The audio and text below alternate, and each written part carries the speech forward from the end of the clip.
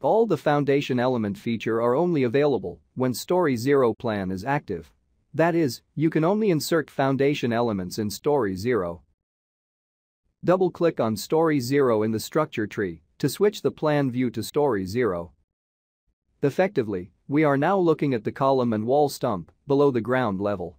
You would find it helpful to display column forces on the plan view. Go to Review tab, Visual Interrogation, Column Plan Display. Check Axial Loads. Check Bottom. Under Loading, check G, Q and First Load Combination, G plus Q factored. Click OK and the axial loads will be shown on the plan view. Before designing pad footing, let us first review the foundation materials. Go to Building Setout, Edit Material. Select Foundation Floor. Review the concrete grade and grade of steel. Click Grade 500, Edit, Next Rebar Diameters. Footing and pile cap share the same rebar diameter setting. Pick and choose rebar sizes to be used in design. Cancel. Cancel again. Cancel again. Multiple select all the columns by holding down the Control key. Right-click, insert pad footing. Maximize the dialog. Before designing any foundation elements, let us review the foundation design settings. The General tab is for pad footing, strip footing and raft or mat foundation. Soil unit weight is used to calculate the surcharge weight on the foundation by multiplying with surcharge height. The surcharge height is automatically calculated by the program based on the top of the foundation level and the ground floor level. Ultimate soil strength factor is the factor used to multiply the allow stress of soil to become the ultimate soil stress. The reason is foundation design is based on factored load combination, not on factored or service combination. These options is specifically for finite element foundation analysis, which is not applicable to rigid pad footing design. Lean concrete thickness is used in foundation drawings, it does not affect the analysis or design of foundation elements. Strip footing cantilever length is the default extension for the edge of the column for strip footing. Default pad footing can be rectangular or square. Change it to square. The design settings such as minimum steel percentage, bar spacing are self-explanatory. Steel bar selection, footing reinforcement, there are two choices, with BOB, bending of bars, and without. Select minimum main steel bar size and distribution bar sizes. Click OK to save and close the settings dialog. Selection. Click on any row to select it. Hold down Control key for multiple select. Select slash clear all and reverse selection icons can be useful as well. Design. Check design will only check and not change the footing size and rebars. Check design will check the adequacy of the footing and only redesign if it fails. Redesign all will redesign all the footings fresh with the current settings. Grouping. Columns can be grouped to yield a single footing design using the grouping options. Group selected, multiple select the column rows to be grouped. Hold down Control key and then choose this option. Ungroup will break up previously grouped columns. Hold down Control key and select the first two column labels. Click Group Selected. Select option Redesign All, since this is the first time we insert the footing. Click Design All to begin batch design. All the footings depth, size and rebars will be automatically designed. The design status will change from red crosses to green ticks. Apply design combinations. By default, the footing will be designed to all load combinations. You can specifically assign which combination to consider by checking or unchecking each load combination. Further, you can choose envelope to consider envelope of all combinations. Click Cancel. Import from CSV.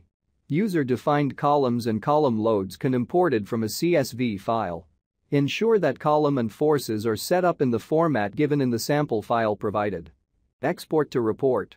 Export the footing schedule to standard ProtaStructure report, which contains the same information as shown in the batch design screen. Close the report. Export to Excel. Export the same footing schedule as an Excel file.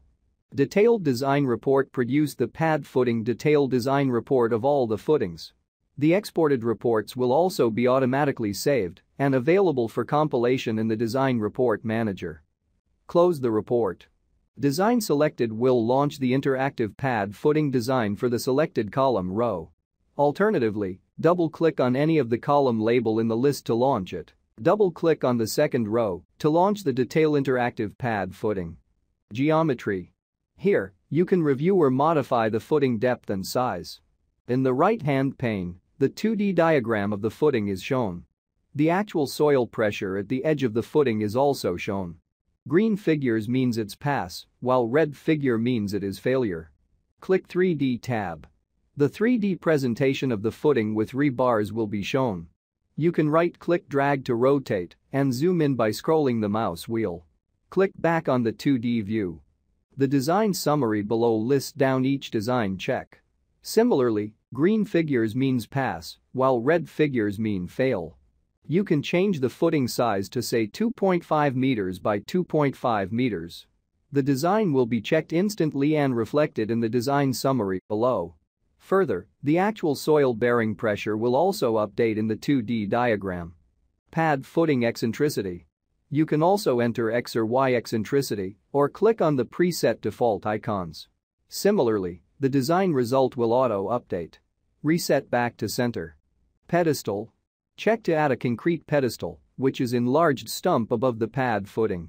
LX and LY is the pedestal size. Try entering say 800 by 800. You can input the shear key spacing and depth key for the pedestal. Shear key improves the punching shear and shear capacity.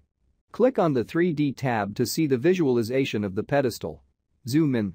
Uncheck pedestal. Change back to 2D view. Analysis. Material. Review or change concrete grade, rebars grade and diameter. Soil properties. Ultimate stress of soil is automatically calculated by multiplying allowable stress and ultimate strength factor from foundation settings. This can be manually input by checking user member specific value. Soil surcharge on footing is auto-calculated by multiplying soil unit weight and fill height. The fill height is auto-calculated based on foundation depth in edit story minus the footing depth. Subgrade coefficient is used to calculate the spring coefficient when the foundation is analyzed using finite elements method. This coefficient has no function in design of pad footing, so ignore this setting for pad footing design. Options. Specify general parameters of design and detailing, such as minimum spacing of bars. Lean concrete thickness. Increment steps for footing depth, size and rebar spacing. Also, some report and detailing options. Column loads. Combination and loads are listed. There are three choices of loads. All combination is the default. This means the same combinations used in column design will be used. Envelope. Means only combination with the highest loads of all combination will be used. User-defined. Combination and loads can be user-defined by keying values in the table or imported from a CSV file. Cancel. Select back all load combinations. Rebars. Shows all the design reinforcement bars. Bar sizes and spacing can be changed. If changed, remember to click on another cell to take effect. The design summary dialog will auto-refresh to show pass or fail status.